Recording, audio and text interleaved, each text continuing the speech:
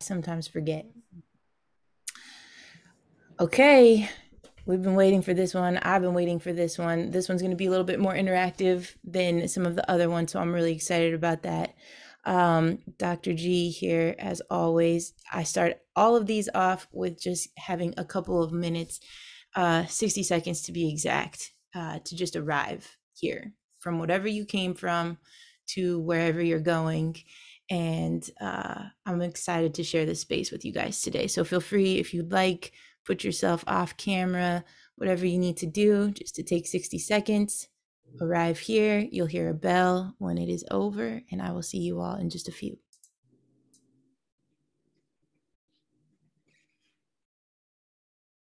So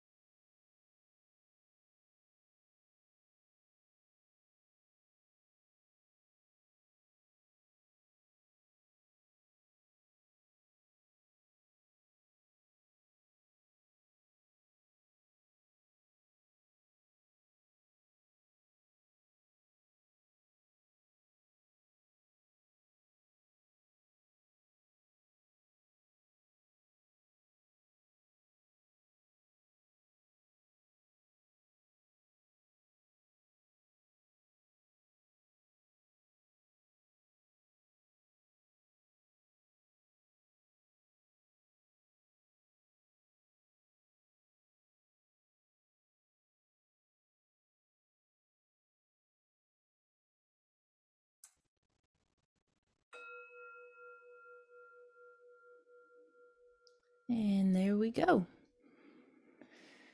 Welcome back to the space. I hope that that served as just a quick breather to uh, get you here tonight. So thank you for joining as always. It's so good to see everybody. I think at one point I even saw Chris in the background. Hi, Chris. Um, it's so good to see everybody. So thank you, thank you, thank you. Um, good morning, good evening, good evening, good afternoon. Everybody's joining from all over the country, which is just so cool. I love it. Um, this is awesome. So I have Mr. Marcus with us tonight, and um, I just want to briefly kind of set the stage for him of how I found him. I was on LinkedIn, and I, I remember finding some sort of post about psycho spirituality. And I thought, mm, I like the sound of that. So, uh, as you all know, I'm super interested in um, Good Morning from India. You see, this is right. It's very cool. Uh, so, um, as you all know, I'm super interested in emotional intelligence, and that goes much further than UX research and UX design and things like that. And it goes into designing your own life. So I was immediately um, interested and intrigued in what Marcus was doing. And then I saw that he wrote a book. And I was like, okay, he wrote a book. So then I looked a little bit further into dig deep. And then I saw this five by five method. And I was like, oh, what is this? And I saw all of the five F's that I like friends, faith, family, fitness, and finances finances. so I might, I might not particularly like finances, but uh, you got to deal with them. Anyways, so right. I was like, all right, I like all of these five Fs. These are good. So when we just started having a conversation and sooner probably than he had imagined. I was like, "Hey, you want to be on my show?"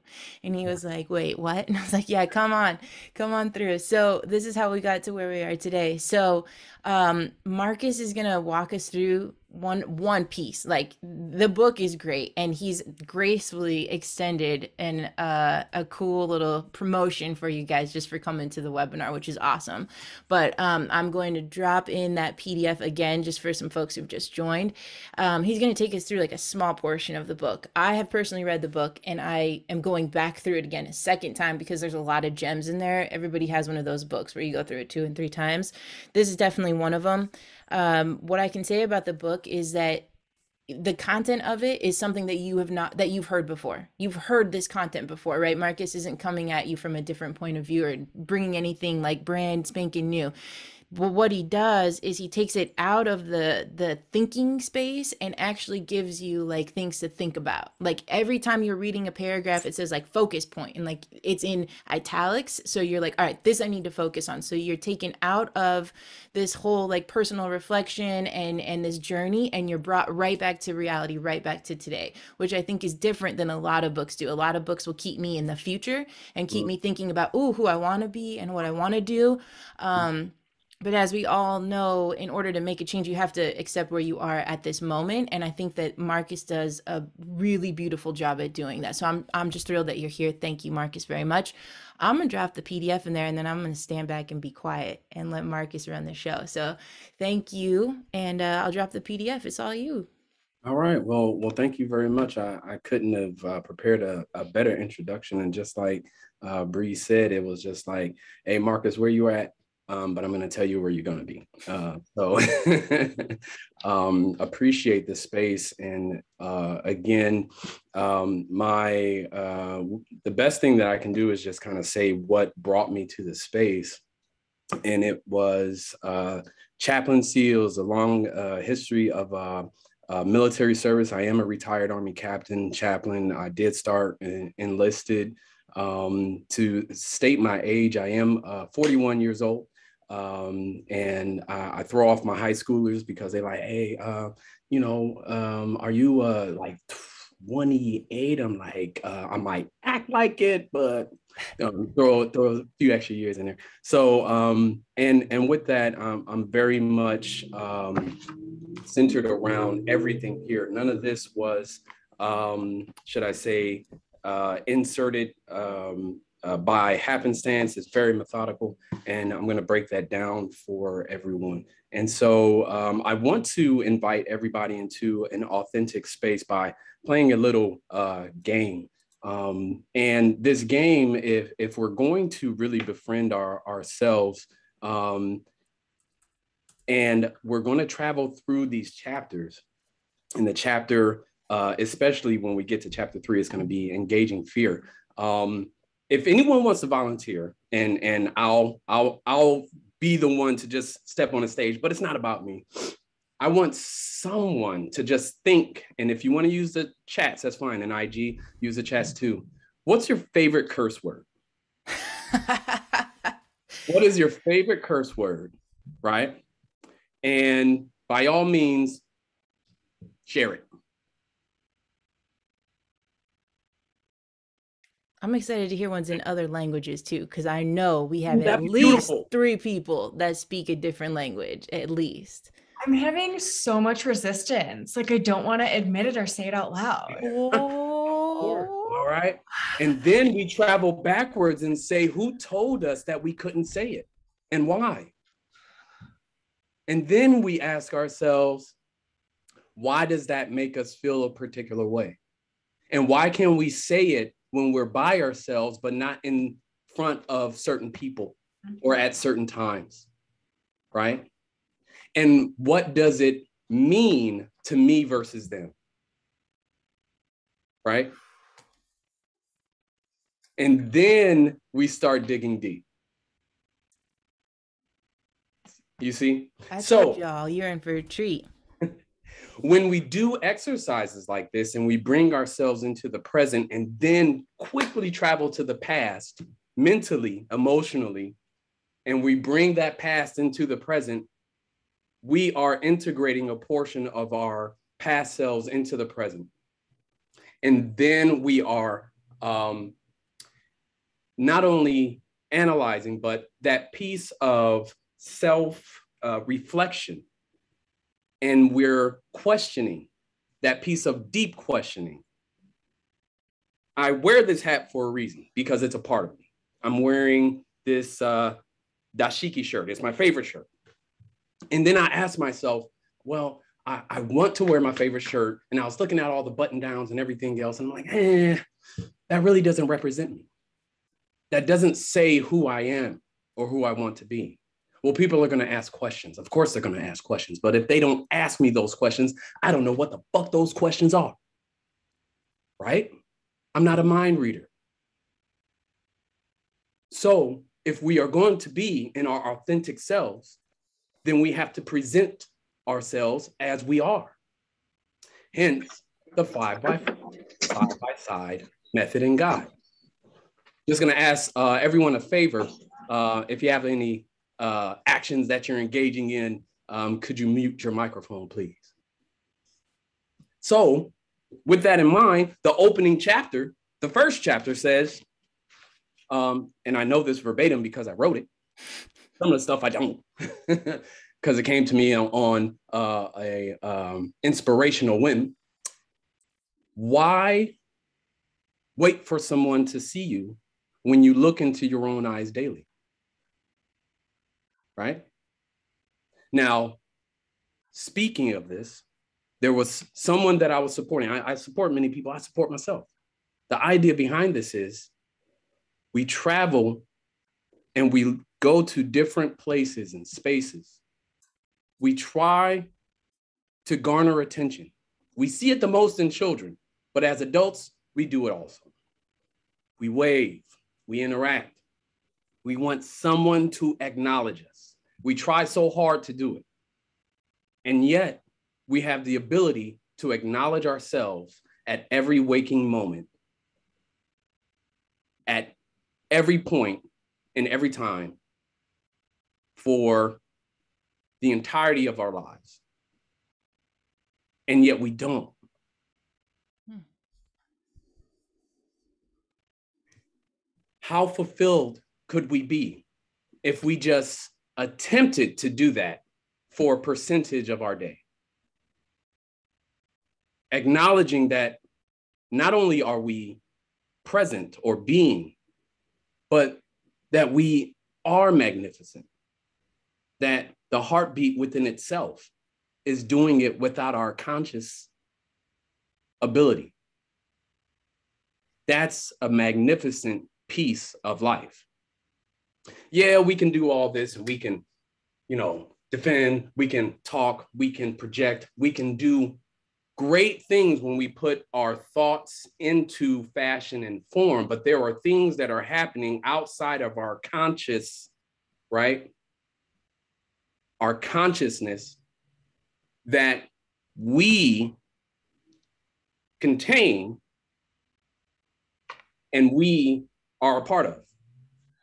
And that is magnificent. And yet, we go day by day, moment by moment, unacknowledging. And we're waiting for someone to say, I see that in you.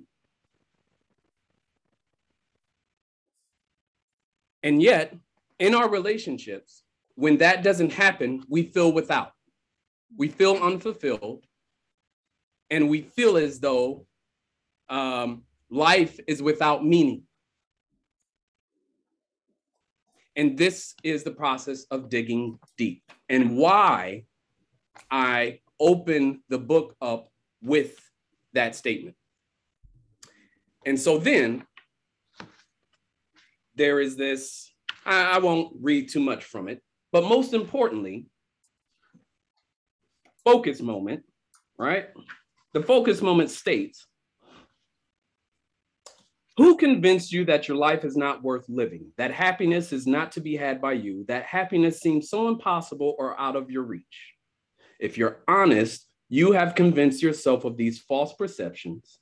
You have owned these falsehoods, which you have initially heard from other sources, whether they be family, friends, uh, uh, passerby, commercials, or something else. The point that I'm making is sometimes our thoughts, and we'll get into this in chapter two, aren't ours. They're reiterations of things that we've heard in the past, perceptions of ourselves that we've owned, and projections of ideas that, whether it be a societal view or an interaction or even uh, a false reality or misconception of a historical reference that is, in fact, not true. that we placate and play out. And then we are made to feel as though in our daily living, our daily lives, the emotional attachment is, should I say, lackluster, right? But yet and still, when we compare it, which is why we have the parent, we have the individual um, that says, well, you know, children in Africa is starving. well, number one, every child in Africa or anywhere throughout the world is starving. And there's some charging, uh, excuse me, there's some uh, children here that are starving as well. In fact, there were some of us that were starving when we were younger. But it's that reference point that we go back to. So if we can understand these reference points, we can give them to ourselves. So,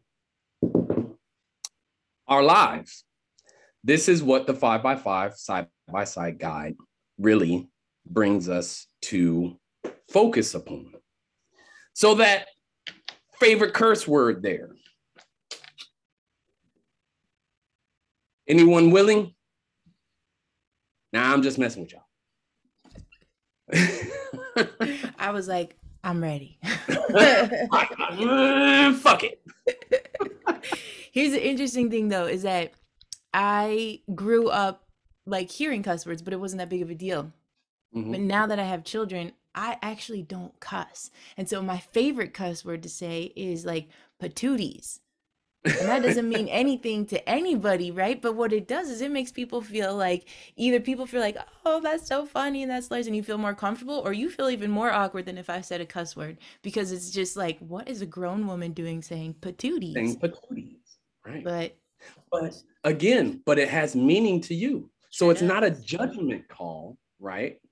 It is uh, who we are. And if that's what you're going to stand by, then you're judging yourself in that space. mm, And this is what we have to come to understand self judgment, not judgment from the parent, not judgment from the creator, not judgment from the society that we are developed in. Self judgment. Because we don't know any of those thoughts, ideas, perceptions, which is why chapter two is perception versus reality. So I'm going to have to share my screen now. Where, where are we going here?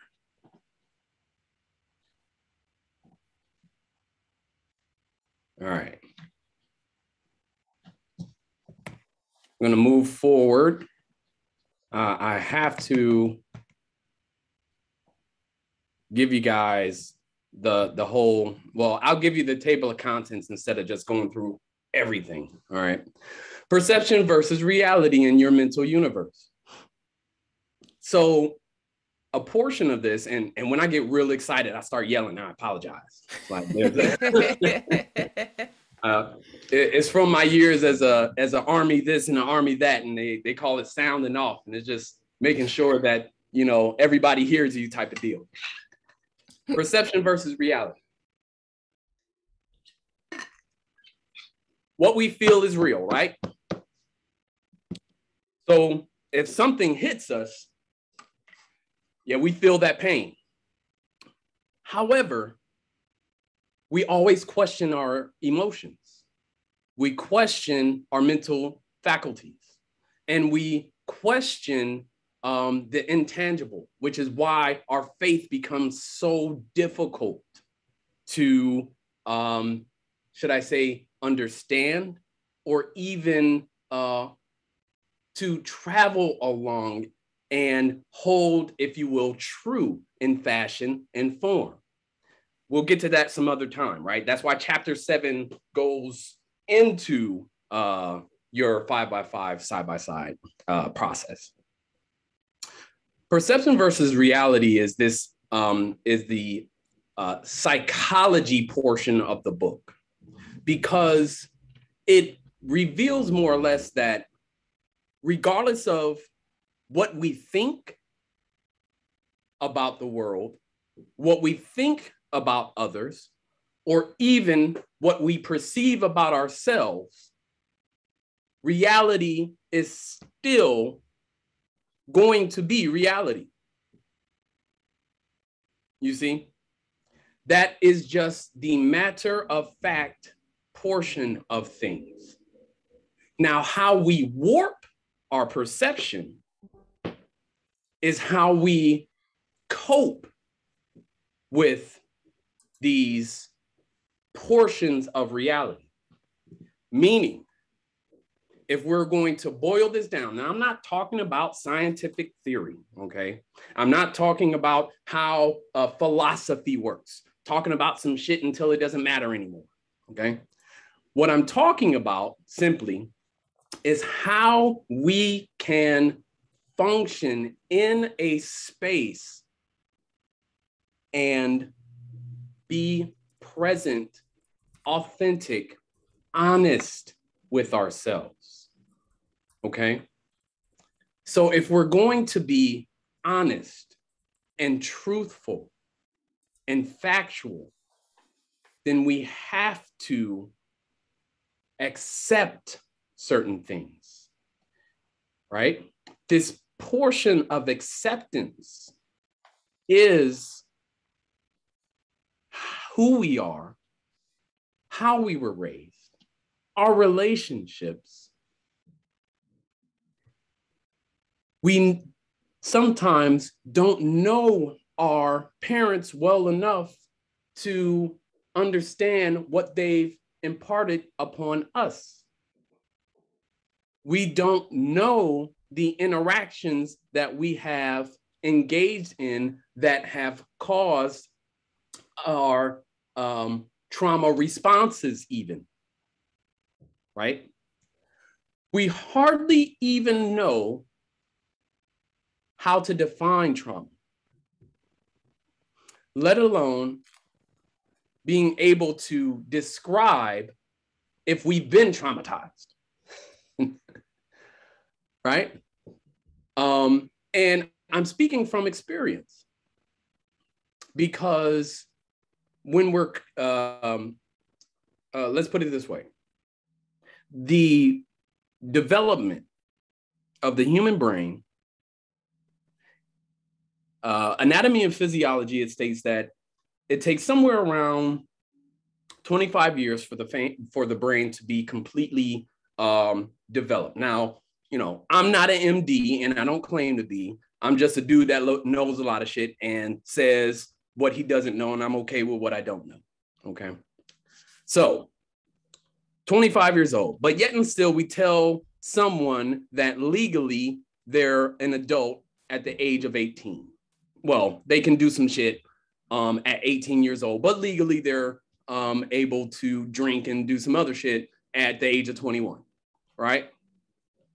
Um, but yet and still, uh, you have an, a higher insurance premium until you're the age of 25, and uh, you can't rent a car without um, a co-signer or another adult's um, signature until you're 25. Why is that? Anybody ask? Most of us don't ask, but we still kind of wonder, like, hey, I'm not feeling too adultish. I have a question well, before I actually answer it, though. Before you answer it, yes, yes. I'm yes. curious about the people who live in other countries. Is that true for you all too? Like, do you like have question. like? I know that like in Europe there might not be a drinking age and things like that, but like for people who are like, I know that some of you have India and Indonesia. Like, is that is that accurate for you guys too? Mm, yes, in Indonesia, we have to reach like um, until we're 17 so we can drink. Okay. Mm-hmm. Mm. Interesting. Yeah. Okay.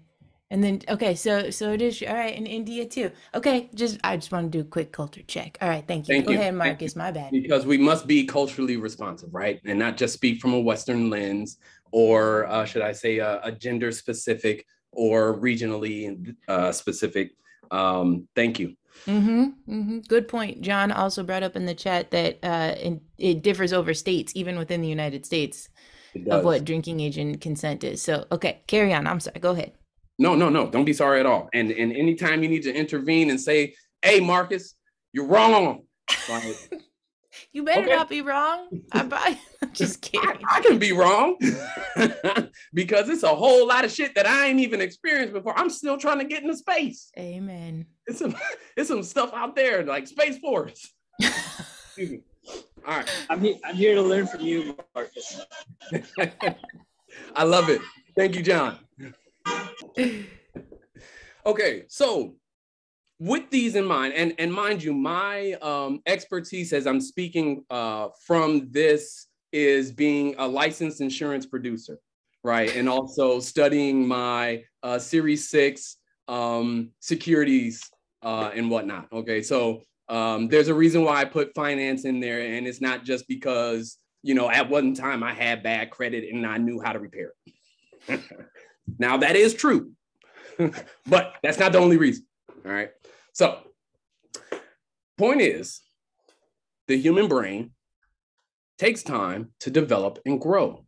And at times, they base uh, laws upon risk, upon uh, risk management and mitigation and all this other stuff, right? Especially when it comes down to other people's property, okay? Or corporations and things of that sort. Now, if it was solely based upon uh, whether they felt you were capable of just simply driving, then everybody would be able to have their driver's license at the age of um, Mhm. just simply 16 and be fully insured with a lower premium uh, at that age as well. Right. A- as well as boys or young men um, having the same insurance premium as females. But yet, ours is always higher. Why? Because there are differences between the way the human male brain is uh, grown, formed, structured, hormones, all that other stuff, and they calculate that in. Well, hmm, I can't speak for the whole industry, but that's just the shit that I know. Okay. Point that I'm making is when it boils down to it, this is what's real. And we have to go off of some of this information when it comes down to even our perception of things. So, perception versus reality. How was our parents' development interrupted or not when we were being raised? Hmm. Some of us don't know, and neither do our parents. right? Even when it comes down to uh, trauma and how they reacted to us during periods of reactivity, right? And response. If you're talking about family violence, if you're talking about uh, community violence, take 911 for instance. And I'm not going to go too far into this because we're going to segue. 9 11, they broadcasted it around the world. So it didn't just affect New York City. Mhm. Everyone was afraid to fly. Everyone was traumatized. And everyone was afraid of the terrorist threat. And what in ethnicity and appearance it might look like. Mm-hmm. So, when you have a dominant media outlet that can propose particular projections, then we have to ask who controls perception? I'm just proposing a question. And then we go into reality. We have to stay in the tangible present of who we are and who we desire to be, which is why there is a planning portion in the book. I want to stop you real quick, Marcus, because you brought up something that has been actually in my current conversations in life about uh 9/11 mainly and and now I'm I'm able to put this perception versus reality piece to that and so it's giving me some legs to this Mhm. what could be quite um of a of a superfluous idea but the perception of all of that for me at least growing up um, and this wasn't brought on by my family but brought on by by culture and society and i think that it's still carrying out in some subcultures of the united states is that the muslim religion hates america. Mm, and that i still think i still believe that there are muslims that are still trying to correct course correct that and i could be totally off right? But i still am hearing things come up which is that perception this potentially inaccurate reference point. Absolutely. which is that muslims hate americans. And the the verses part which is what you're saying is like a, a mode of acceptance the only way that you can get from perception to reality is this mode of acceptance. But this planning piece that you're about to talk about which i think is going to get into into this acceptance a little bit more is that you actually have to educate yourself on the Muslim religion, number one. And two, if you believe that America was founded in Christianity, which we can debate that at a later time, if that Mhm. is the case, then you need to also look at um, God in the Quran, right? And so I love that you're bringing this up because it helps me think and plan about okay, how am I going to go from this inaccurate reference point to accepting that obviously Muslims do not hate Americans and how am I going to plan for that so that I can be rooted in reality? And so I know that this has nothing to do with befriending myself, but it has to do with helping my my the people in my life befriend Muslims. And so But I just a- put that out a there. faith aspect, right? Yes. So there, there's so there's so much, and that's why this book, as as boiled down as it is, it covers the spectrum of the human condition. Welcome. And so I can't say at all that what you're bringing forward has nothing to do with befriending yourself Amen. Okay, fair. right? Um, so um, I'm affirming what it is that you are bringing forward and validating that because there is a piece here uh, in the five by five uh, guide uh, that speaks of faith. All right. Um, and as touchy as that is, because they say don't talk about sex, politics, and religion, um, that's like, damn, I, I guess we can't even talk about this damn. We're just gonna stare at each other like this. Right, right. Make everybody uncomfortable. Straight elevator style. Anyways, um, what um you bring forward is this piece of uh let let's talk about that. Let's talk about uh faith. Let's talk about um that particular dynamic. Um, because and and I, I don't want to uh, make it seem as though we're jumping ahead because there really isn't any jump. This is a fluid conversation. Mhm. Um, I was raised in an Islamic household, Mhm. right? That's number one. Um, and number two, um, I was raised not entirely understanding my religion. I am now a, faci- a facilitator of individuals' religious rights and spirituality. And I also um, support uh, everyone's right to choose their path as it relates to um, how they integrate um, and identify with the divine, right? So when it comes down to uh, what you spoke on, how does one person, right, um, who occupies a very finite space, define for another who occupies a very finite space, um, determine the vastness of anything outside of ourselves for another. Mm-hmm. Mm-hmm. Right? So, based upon that question alone, whether we go into any type of religious book or doctrine or scripture or whatever the case may be, one person cannot, nor even humanity in itself cannot hold all of the answers for humanity itself. If that is the case, then humanity must come together for humanity's sake. If you understand what I'm saying. Only then will we be able to, um, should I say, put this conundrum back into a healthy, um, uh, should I say, trajectory and allow for the healing of the past to reflect the future that we are really working towards.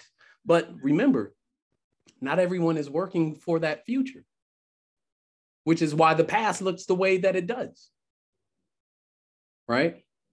Which is again why at the end of the book, it is this process of focusing on posterity, on future generations right?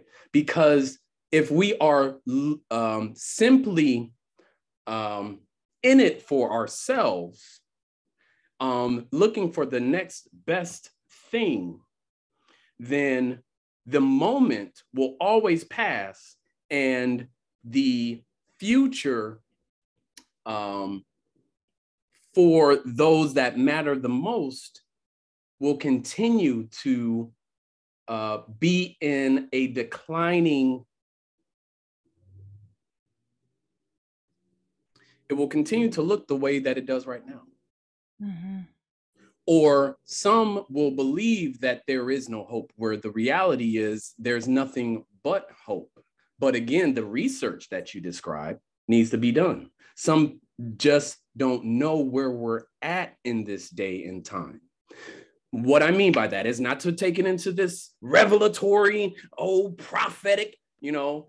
Um, I never met Jesus or Muhammad or the Buddha, Siddhartha, Zarathustra, Tutankhamun, or any of the greats. I just heard about them. All right.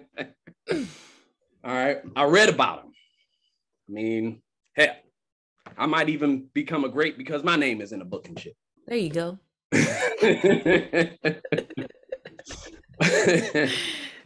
but um, the point that I'm making is this uh, with all of the cultures and the diversification of the world, what we don't recognize is that the greatness of the diversity and the synchronicity of the message has always been on the one.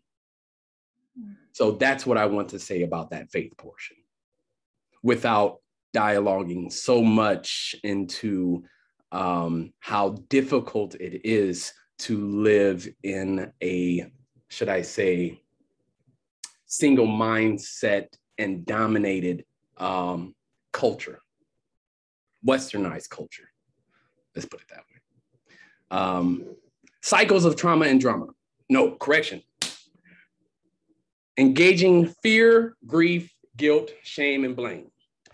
Dr. G, how did you do with this one? All right, this one was probably one of the hardest chapters, not because of the fear part. Um, when you engage grief, for me, because it is, it's always close enough but compartmentalized enough for me to be able to go about my day and do the things I do.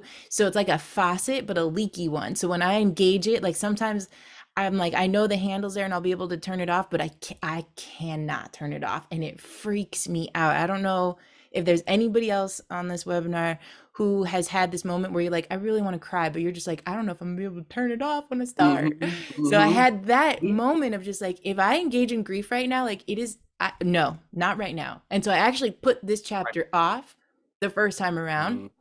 because I didn't want to engage in all of it. Not because of the feelings or anything, but just because I was worried that I was going to be able to disengage. Does, does that make sense? That makes a whole lot of sense. And if anybody else has um, uh, some ideas behind that, please share.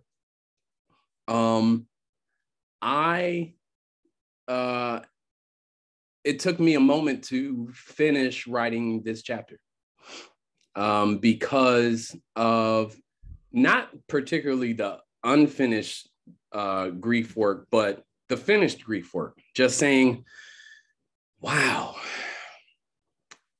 got to go through this again. Got to revisit these instances, got to revisit these stories. And that's why, as uh, I'm, if I'm hearing you right, it's difficult to um, uh, uncap that bottle Mhm. because it is it's like a champagne bottle and nobody knows how to put the cork back in it. Yeah, yeah. And and and one of the things that I was reading this because the first time I read it, I read it for myself, and now the second time I'm reading it through is like, um, I don't know if anybody on this call is, is like a UX researcher or UX designer, but I start to think about it for the people who I'm designing or or, or researching, and um, you always research or you always design at least to unpack joy, right? Like to bring moments of joy, and on the opposite of joy, there are op- opportunities to, like you said, design for fear or grief or guilt or shame or blame.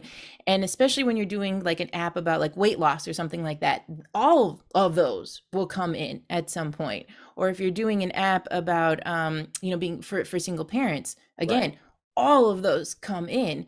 And so I just I started thinking as I was reading this the second time around, I was like, I don't have to read this for myself. This is a great chapter. Love this chapter.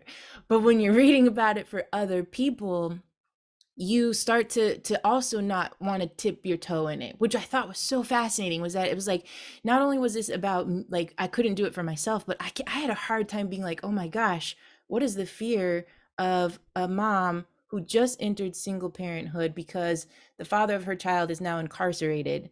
Like, what is that fear like? Like, who's gonna pick up my baby? When is the next time you're just gonna see your dad? And so I just started to think about all of that for the other person, and it was still difficult to to be to say like all right i'm gonna be able to cork this at some point so i just want to say that that it, it is not an easy chapter so this is not an easy topic um but yes I- and I enjoy your agree. dinner angie. Thank you for right right. I uh yeah and and for some for some um uh who i've uh reviewed with right it was almost like um and excuse my english right i might offend some folks but just let me say it. It's like nigga why you write this book? Um yeah but with that it's like because it had to be written. Yeah because there's so much avoidance with all of these things. Um, and what it boils down to is fear. If we understand the fight, flight, freeze uh, responses with relation to fear, avoidance is one of those um, freeze moments or flight correction moments. If we're in that flight mode, like, "Ah, I don't want to do this, we need to name that as fear. Right? So if we're afraid to pop that cork, then it's like, oh, I'm afraid. And then we have to ask ourselves, why am I afraid? Um, so there was a portion here with, uh, I wanted to bring it up on, um, let me boil it down. Fear. Fear is a natural response. We're supposed to be afraid of things. And the reason why we're supposed to be afraid of things is that um, it keeps us alive. Um, it also allows for the adrenaline to pump and we can defend ourselves, right? Um, too much fear at any one uh, point in time uh, sends us into um, a overproduction of these hormones, right? And Dr. G, because I haven't finished uh, my doctorate and everything else, I'm not the expert. Okay. So if you need to cut in there and be like, hey, brother, let me step in here because I got better words, go ahead and do that. No, you're good. I did I did drop in there for those of you who are able to check the chat. I did drop in a little piece about uh the fawn response, which is added now to the fight fight flight freeze. So it's like fight flight freeze or fawn, which is that instinctual response uh to avoid trauma. Thank So, you. You're Thank you. welcome. Yeah. Because I'm I'm about to write that down in my personal copyright here. I'm there like, you go. here comes uh edition number two. There it is.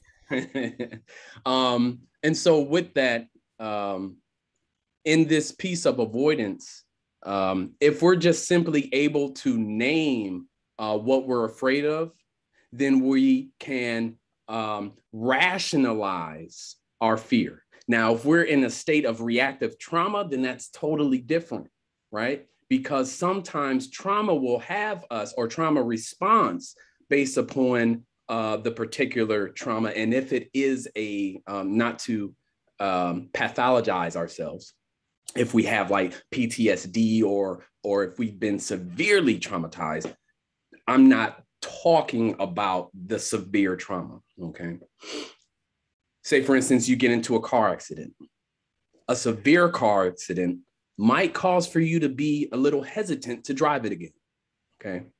So, for instance, so in this particular state of fear, we um, use, we can use our hormones and we can use this reactivity and we can use this state of, um, should I say, awareness to our advantage.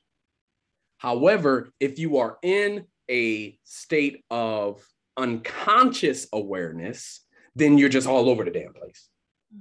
Okay. Now, the best of those, if you're gonna, the, if I'm gonna put this into a, a militaristic type of uh, science, right? We're talking about tier one operators. If you're gonna focus that, then we're talking about precision shots. We're talking about precision movements. We're talking about being able to, uh, and not even just that, if we're talking about a master martial artist, if we're talking about um, someone who is used to being in a chaotic environment.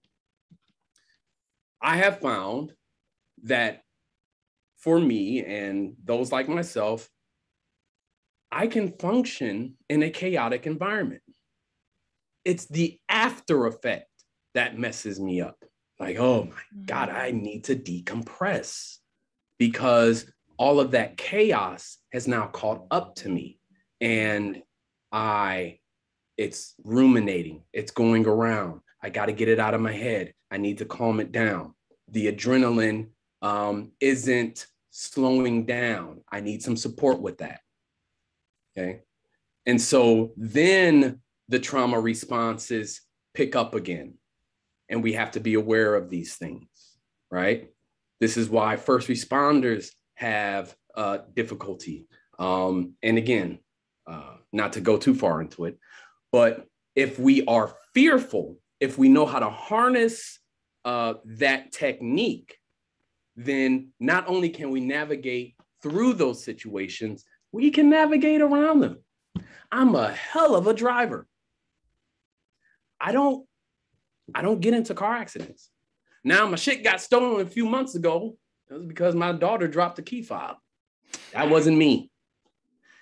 My other car got drowned in a pool of water a few years ago. That was my mom. I've gotten rear-ended, not me. Have I spun out? A little bit. However, I have certain abilities. So let's go into yours. What are you a genius at? Are you aware? Have you been able to become so aware that you can name it? the you portion of the creator that pumps your heart and feeds your soul that is that unconscious portion of yourself that you can become aware of at any given moment. Ooh, do we get to open up the floor? Will people actually say like what you're a genius at? Because I am Absolutely. so curious. Absolutely. Oh, I love it. Okay, not all at once, everybody. Come on, come on. Uh, can I try? Yes, get it, CT. I think I'm genius at um, expressing myself through like uh, writing poems or songs. Sometimes I write through piano. Sometimes I draw. Yeah, that that's actually my way of understanding myself because I don't really quite uh, understand the dynamic inside me. So I express through art. Oh, I love it. That's love it. beautiful. That is beautiful. Thank you. That is so cozy. See you too. I love hearing that. Now, CT, um, when you get into your art form, how do you do it? What's that process? How do you focus? Mm, actually, I tend to visualize things. Like, for example, if I long for somebody, I see, I saw a moon and me as a bird trying to fly up to the moon. Mm, And then, yeah, and then uh, uh, I always visualize with uh, nature, like the wind. So, and the, and the, uh, howling voices calling my name maybe the the graveyard uh it's all, all about symbols uh that's why it becomes an art like drawings illustrations poems right it's it's easier for me Mhm. yes. And I appreciate you sharing that. Uh, Dr. G, did you want to chime in? For me, uh, I am a lover of cultures. And so when I'm in the room with other cultures, that is what makes me at peace that I'm so that I can be curious about other cultures. I don't feel like, gosh, I feel uncomfortable or like I don't know them and I don't know what they're about. And like that's like the biggest thing.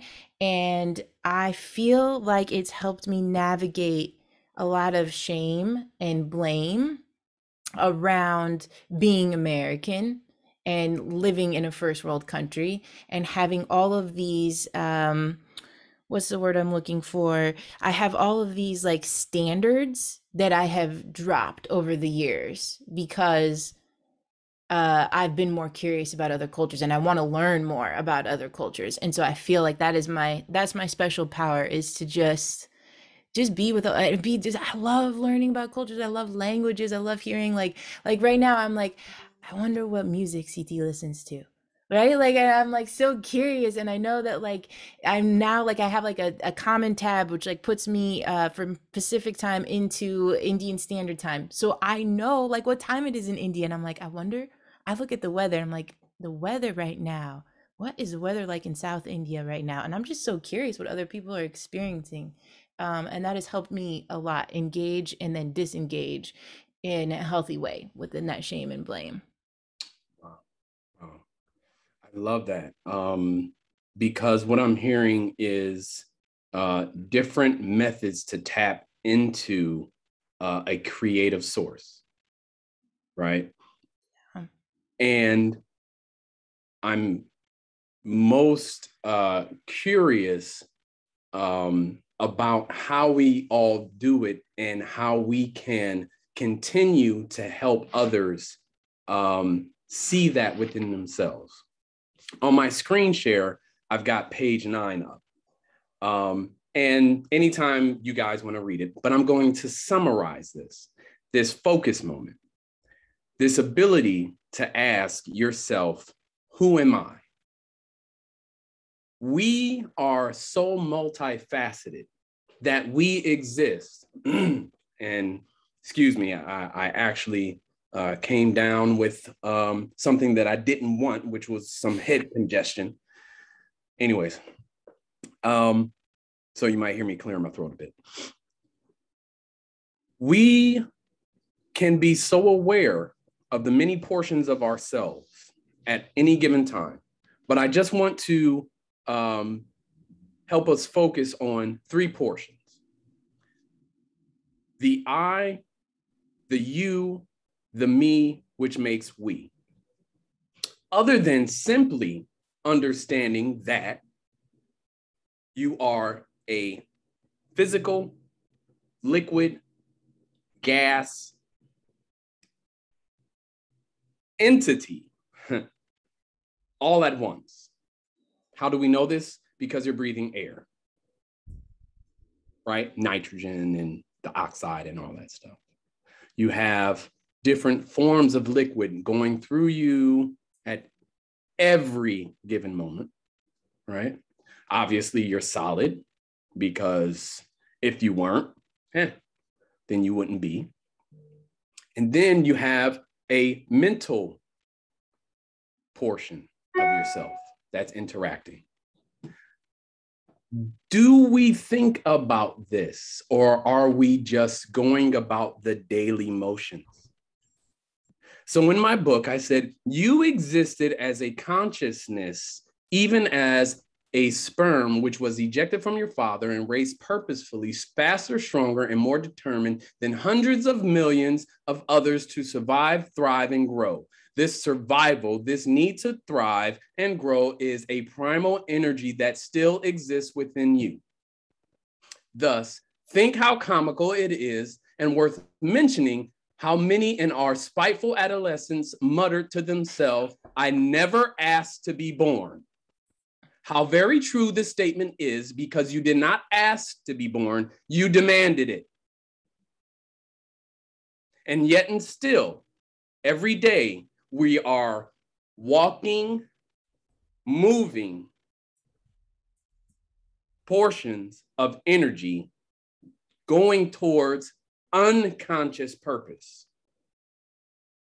until we bring purpose into our consciousness. Mm. And then when you bring purpose into your consciousness, persistent perseverance, and you cannot be stopped. But you have to reiterate that. Some people find purpose in many different things. So, what I'm describing to you is this process of being able to not only go to your childhood, but go into the moment prior to your physical existence and tap into your purpose. Like, shit, I can do this mentally. Like, man, there is power in me aside from just simply, okay, I can make it comical, but I'm not going to make it too like, man, I was in my father, I was in my mother, I was in everyone prior to that. And if we go back far enough, how far back are we actually going? To the Big Bang? To the, the center of the universe? To when we were all together all at once? For some, it's unimaginable. Mm-hmm. But to others, well, damn, now I can think of anything. And then I can become what I want. So, so I'm one of those uh unimaginable people, right? Like I'm the I'm the person here who's like I can only go far back enough to be like, okay, I was part of my mom, but I can't go any further back.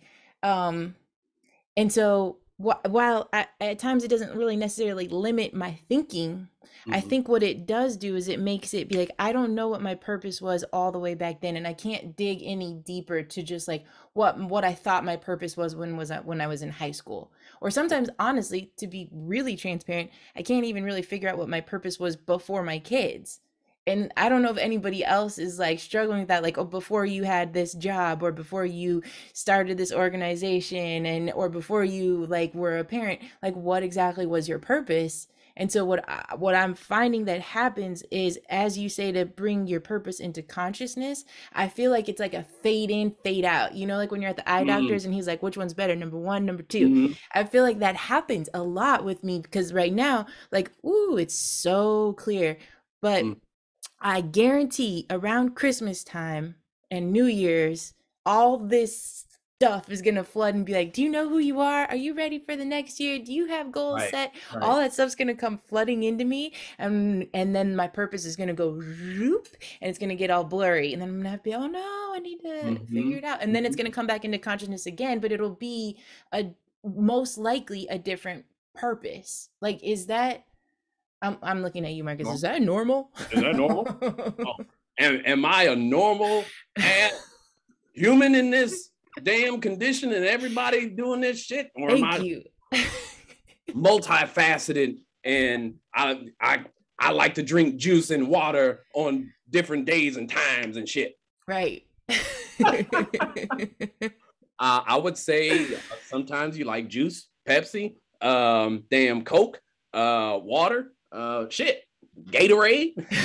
Tang. I, I like Tang. I do like Tang. Still. you Yes. know, uh, you you might even be one of those high fructose lovers. but you do feel like right? Like it is Absolutely. to believe. Yeah, go ahead, John. That's how. Tang is uh, what astronauts drink. See?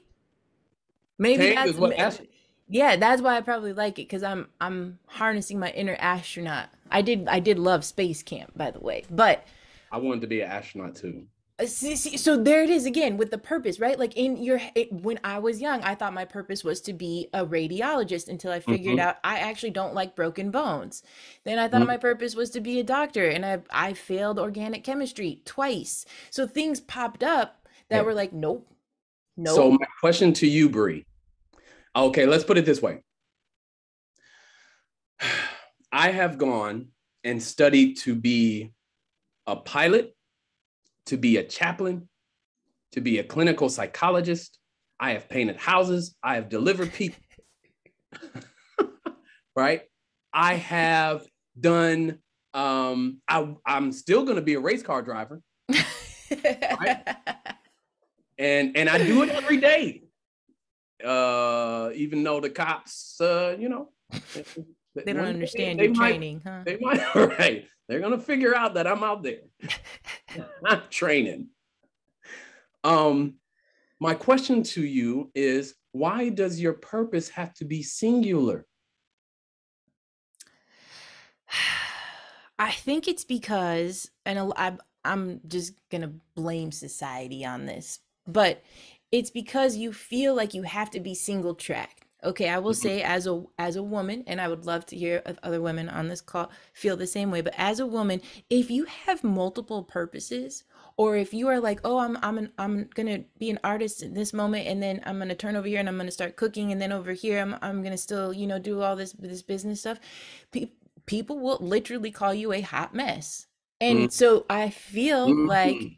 if I have multiple purposes, they can that that's fine, but they have to exist in a single lane. Otherwise, um gonna look like a hot mess. And no one wants to be that. Do you have multiple geniuses? Yes, I do.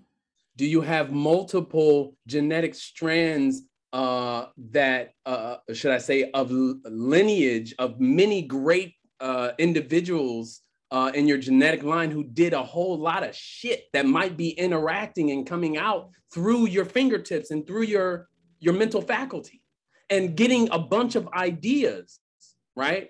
That let's put it this way. Hmm. All right. Is Elon Musk a hot mess? Some would say. Okay. But does he give a damn? Because No. he got $300 billion. yes. True. Okay. Okay. So, or do we care more about what we are doing for ourselves and those who we love, or do we care more about what we think others believe about us. Right? This life is yours alone. Mm. And this is why you have to befriend yourself and decide what you will live for. Now You- are talking about detachment. And I don't know if anybody else is like feeling that. Like you have to actually detach from what people think about you. What Or- people. Yeah. Or Okay. or Or. detach from what you think people think. Or detach from what you believe you should think about yourself. So detach from the perceptions. Ah, But okay, this is my favorite part about being with you in this space. What okay, be that it is an inaccurate reference point, for some, it is a reference point nonetheless. Yes. Right? So, like, how do you just say, like, nah, I'm not Fuck gonna worry about that? Right? okay. Let's put it this way. When I ask myself, what am I afraid of? Because as I wrote into uh, Dig Deep, the uh, chapter about fear, fear sends us into this space of void, loss, grief. What are we afraid to lose? What is keeping you in that space? It's not a matter of what are we afraid to do, but what are we afraid not to do? Right? Where did the fears come from? Are you keeping yourself from moving forward because you are simply afraid of the success you might achieve? Because sometimes people are, or how difficult the path looks. These questions are the ones we have to ask ourselves. Ultimately, when I find myself doing 100 miles an hour on the highway, and it's very easy to do, and I have got to get to work in 90 minutes or less because I used to work in the Bay. Let's see if that happens again, Dr. Bree. all right. All right. All right. Well, the cops might be up there. Yeah. Okay. Well, you might get a ticket. Yeah, I might. I don't have one now. Okay. Well, you might crash. Well, I'm not crashing right now. Your Mm. children aren't in the car. The only thing I'm really afraid of is losing my children. They're not in the car. 100 miles an hour. Here we go. Okay, okay. I s- all right. I'm picking up what you're laying down, and I also love what John put in the chat, which is this. Let me see that. He says that he looks at what everyone else thinks is important, and then he goes to look for his purpose in the opposite direction, which I think is just like that's brilliant, right? So I, I think that is what you're saying too. Like everybody's saying all of these worries, and yet you're like, "Mm, yeah, those could be true, and yet here I am gonna go and go do my thing. And I think what happens a lot in life, at least from a parent perspective, and maybe this happens other places in life too, is you start to predict and you hear predictions of what might happen, and then that is what actually leads you or to change your behavior, right? I do that with my kids a lot. I'm like, you're gonna drop that. Mhm. I just put a prediction on them that they're gonna drop it, right? Instead of me saying like, "Hey, I'm scared. I'm scared Right, that you right. might drop that," right? your perception we're Yes. trying to live in a future that doesn't exist in a past that we can't go back to. Yes, yes, yes, I know. That's what I'm doing. It's true. So I I think that people have these conversations with themselves too, right? Like I think that people are like I might I'm going to go for this job, but um I might I might not get it, right? Or I probably won't make it to the second round or I'm gonna go for this. I don't know. I'm gonna try to date this person, and they're probably not gonna like me. So like we put these predictions on ourselves, and then we change the course of our behavior according to those predictions. But we're not actually naming like I'm ashamed that I might not be liked, or I feel guilty that I, you know what I'm, didn't you say? or? I'm afraid of repeating uh, the past, or I'm stuck in the past. I can't move forward. All of these things that we are holding to ourselves for whatever particular reasons, Mhm. because we have yet to truly understand ourselves. Yeah. We are very intricate. We have been through a lot of shit. Say that one more time, just so We everybody in the back can hear you. We are very intricate and we have been through a lot of shit. Yeah. 2019, probably one of the man, that was like the year zero. We all Like, started man, I- basically. I I retired, I got remarried, right? I, I made made my way back to Cleveland. And then at the end, I got something that kind of felt like COVID. and then I got all bubbly and I said, what the fuck is going on? going into 2020, and then I got reconstructive surgery. I said, "Oh Lord, what's happening? I feel like Frankenstein." right. And I'm not the only one, Yep. right? Unexpected circumstances is uh, uh, the this is called life, and then we become afraid of more unexpected circumstances Mm, and we don't know how to prepare for them. And then we slow down in believing that we can control the unexpected and we can control aspects of life that are essentially uncontrollable. fair. Yeah. We don't have control over anything other than the way that we think sometimes. right? Because other people, you got to take some medication. Like, oh, fuck. Running out. I got 30 days until I'm crazy again. okay. Let I'm I'm putting I'm gonna put one one more layer on this. Um. By the way, I can say that because I take medication. All right. I'm a disabled veteran. Okay. I'm speaking for myself, not for others. Okay, fair. Okay, all right. So, what if you have been in an abusive relationship, an emotionally abusive relationship, and this idea of self love has been brought up by your friends, by your family? You see it all the time. Oh, you just need to exercise self love, self love. But you have been bombarded with day after day after day that one, these perceptions of you are absolutely true. They are the absolute truth, right? You aren't good enough. You're not a good enough partner. You're not available enough. You're not all of these things that you're told day in and day out. Then you go to try to find self love and you try to have this acceptance to reach reality.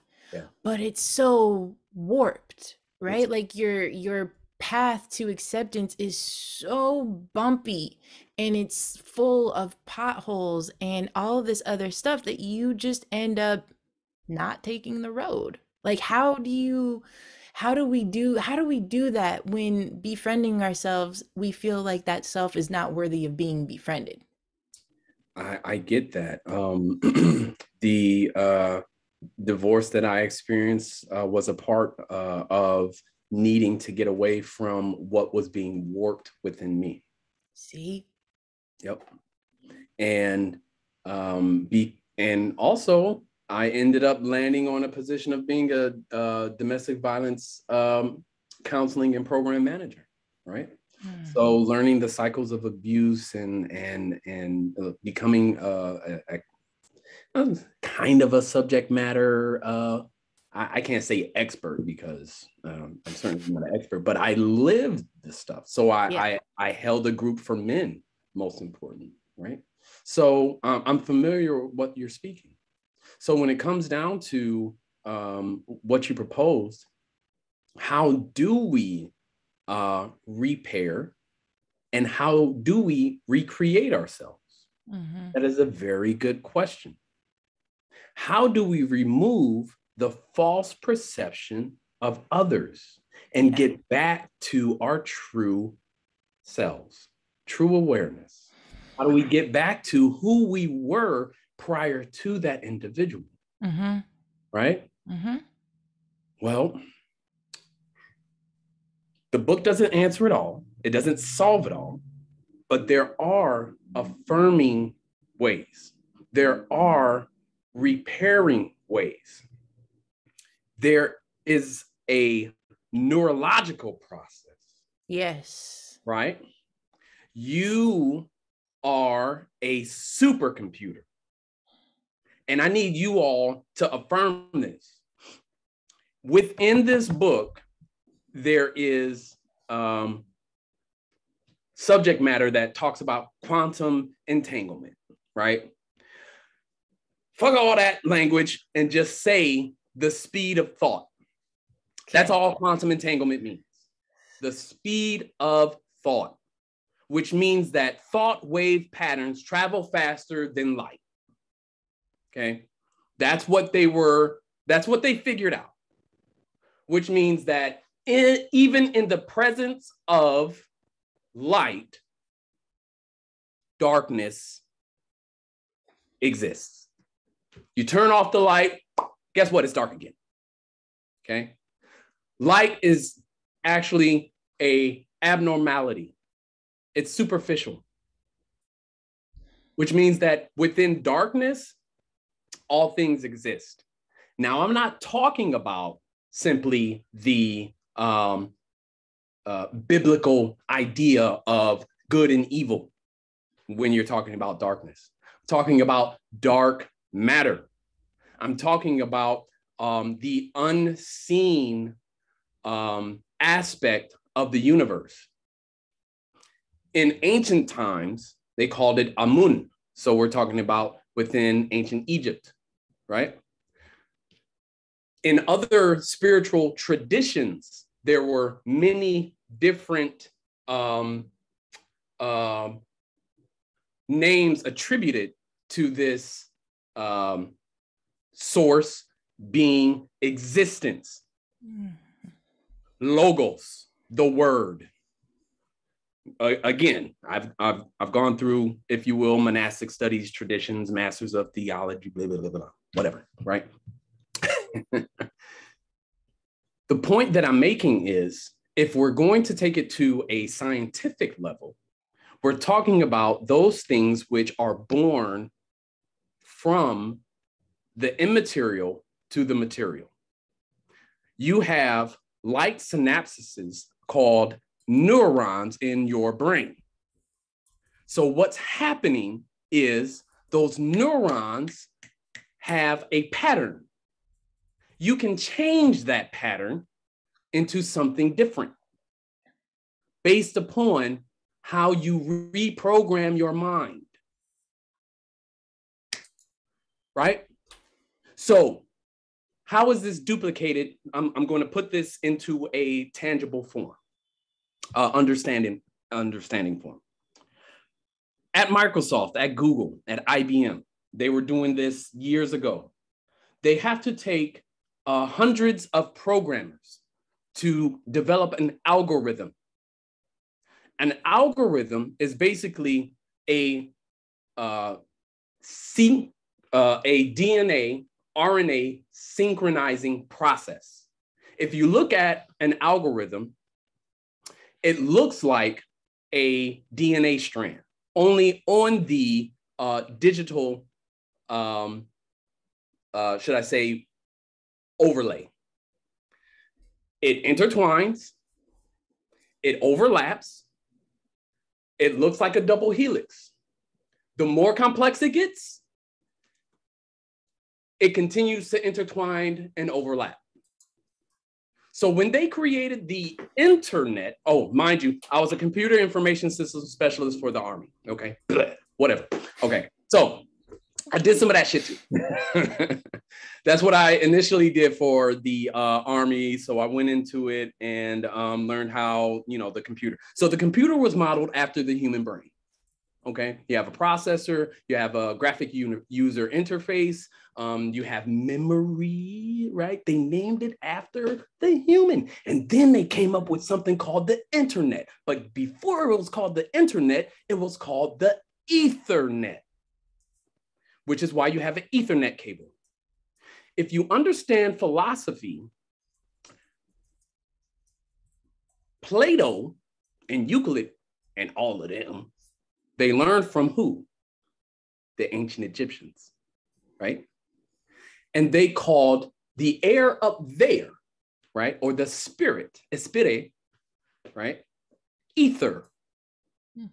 Okay, all right.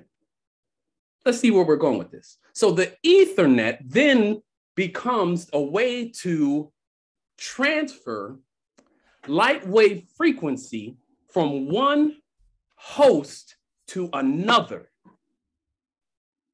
So all they were doing was duplicating the human model and the mental model and grafting the computer and human process of thinking after one another.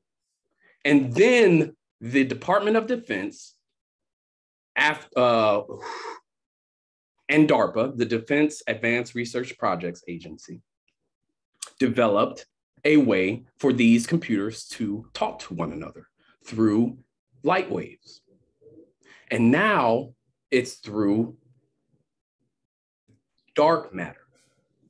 You can't see it. Right?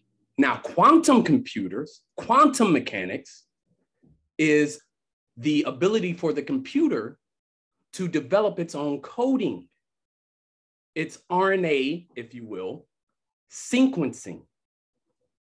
So as it writes its own code, it learns by itself and thus grows, which is why Elon Musk said, This is the scariest shit he's ever seen. because they're on some other stuff out there while trickling it down to what we're fooling around with 5G. right? And then they make Space Force like that's some new shit where all it is is a compartmentalization of all the space technologies uh, that they were uh, already um, uh, using and in production and working with. And so then they say, boom, guess what? What y'all didn't know is that we already militarized space, but all this other shit, um, we're just going to call it Space Force. And here's what you got. So the point that I'm making is that you can reprogram your mind because they've already done that shit with computers. problem is, I don't have somebody that wrote an logarithm for me. That's my problem. You write algorithms for yourself every day and it a daily. genetic code. That's called RNA. And then it becomes your DNA. And then you pass it down to your children. You're making computers, quantum computers, which is why they need human resources. This befriending yourself, I thought it was going to be like read a book, fill out a worksheet. Now you're talking about I have to rewire my brain. But you can consciously do it. All you need to do is create a mental model of who you want to be. And then you're like, oh shit, just tap into Skynet. Skynet is God. oh my goodness. I feel like we need to do this again because, like, first of all, we have to wrap it up in one minute, which just that's unfortunate. I wish I could just spend a little bit more time with all of you guys. But I feel like too that there was there's so much in this idea of rewiring your brain which we only scratched upon on the surface that has so much to do with emotional intelligence that I feel like we need to do this again. And I also feel like that's where people are really wanting to understand. Like, what are good thoughts? That's all great. But when you go to sleep and the cleaning crew comes out and brushes away all of the things that you didn't use for the day, how do I know that I used it enough so that the cleaning crew won't come through? I'm the mom where like there's a little bit left of like the soda or like the water. Pick it up and everyone's like, Where's my water? I'm like, Oh, you weren't done with that? I'm sorry. So I don't want the cleanup crew to come in and clean up some of the stuff that I'm working on uh, so that I feel like I have to start all over again. So, like, next time when we do this, Marcus, write this down. Will you he's like doop doop doop doop doop. You Will right. you um will you share with us like like some like like I don't know like four ways that you can like strengthen your neurons so that the rewiring actually happens. Yes, I know it's going to take time. I know 60 something days, whatever. Okay, whatever it will take. But like i can't be the only one that's really like struggling with this idea of like I want to rewire my brain. I get it. I understand the science behind it. It all makes sense. But like my cleanup crew goes in there at night and just like when I'm spick and span in the morning and I've forgotten all the work that I did. And then it's like repeat. You have to repeat it. Oh, that's what it is. Persistent perseverance. You have to continue it. It's like it's like a damn Tony the Tiger Frosted Flakes commercial. You might see it once, but you got to bring out the motherfucking tiger again, right? And bang on that table. Like, oh, Mark- man, seeing this commercial again? Marcus, you, you are not old enough to know about Tony the Tiger. oh, all right. But I do have children. so I'm this is what I'm gonna do. For those of you who don't know Tony the Tiger, I don't know how popular he is in other countries, but he's this giant cartoon tiger and he always talks about this cereal and he comes out, they're great. So now that you guys have a little image of it, maybe that's what you need to do in the mirror before you go to bed tonight so the cleanup crew doesn't come in. Just say, I'm great. And see what happens. in Also, the in morning. greatness is in you. Uh Marcus, Marcus, thank you so much. Like, thank you for doing this. Thank you for getting us appreciate it. started. Like, there's still more to do. So stay tuned for that. Um, If And you thank guys you. have um, Apple Books, uh, you can get Dig Deep um, from my website, marcusbanksbey.com. Um, uh, Apple Books is the best way to read it. You can order it. It's actually discounted. Um, uh, it's $14.99. Uh, I know I was doing a whole bunch of reading. I've got like only like 10 copies uh, left to be able to send out. We're still working on getting it uh, onto Barnes and Noble and uh, being able to flesh it out to everybody. But just wanted to let you know it's digitally available. and when it hits the shelves and you guys wanna you guys want an autographed like copy, you just you just find him on LinkedIn You- like, hey, where's still- my I still owe you. I want. I'm gonna drive out there and just hand deliver yours. Okay. Fair. I appreciate that. I appreciate that. Let me, let me Um, interview first.